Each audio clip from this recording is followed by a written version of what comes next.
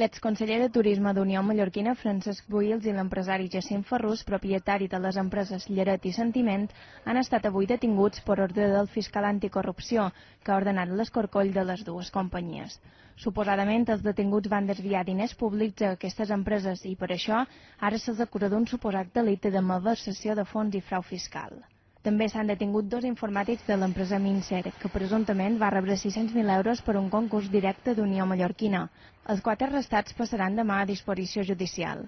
Les detencions formen part de l'operació Voltor, que es va destapar el mes de febrer passat amb la també detenció dels expresidents d'Unió Mallorquina, Miquel Nadal i Miquel Àngel Flaquer. Arran d'això, el president de les Illes Balears, Francesc Antic, va remodelar el seu executiu.